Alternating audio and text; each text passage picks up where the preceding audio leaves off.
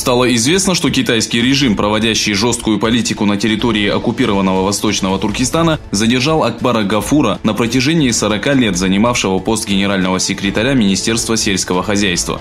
Причиной задержания стали типичные обвинения, используемые против чиновников уйгуров. Гафура обвинили в нарушении дисциплины, превышении должностных полномочий, получении взяток и неискренности. После волны арестов неискренних к партии чиновников, начатой китайским правительством в Восточном Туркестане, власти приняли решение начать новую операцию под названием «Борьба с лицемерием и сепаратизмом». В связи с данным вопросом партия издала доклад под заголовком «20 путей решения вышеупомянутых проблем», в котором подробно излагаются методы определения и наказания сотрудников госучреждений, покрывавших и помогавших так называемым преступникам-националистам.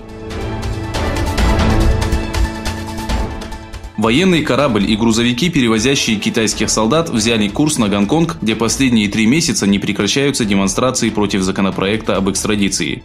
По сообщениям информационного агентства Синхуа, военный корабль и грузовики с солдатами Народно-освободительной армии Китая вошли в Гонконг в 4 часа утра через порт Хуаннанг в целях выполнения плановой задачи. Вместе с тем, что информация о количестве солдат была скрыта от общественности, было заявлено, что китайские военные направились в Гонконг для смены караула, проводимой с 1997 года с момента перехода Гонконга в управление Китая. Министерство обороны Йемена сообщило, что в результате бомбардировки Адена и Эбейна истребителями Объединенных Арабских Эмиратов число раненых и погибших превысило 300 человек. Больше всего пострадал район Зенджибар, на который было сброшено 10 бомб.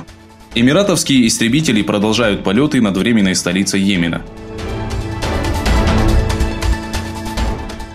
Пакистанская армия сообщила, что провела успешное испытание баллистической ракеты.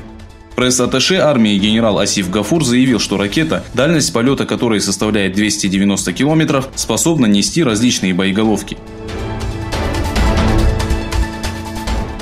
Информационный отдел Управления военно-технического сотрудничества Российской Федерации сообщил, что несмотря на санкции США, Индия произвела предоплату для закупа зенитно-ракетных комплексов С-400. Цитируя слова представителя управления, спутник сообщил, что данный вопрос решен и не подлежит обсуждению. Ранее Владимир Дрожжов заявлял, что Москва надеется получить первую предоплату в конце года и начать поставку систем в Индию, которая завершится к 2025 году.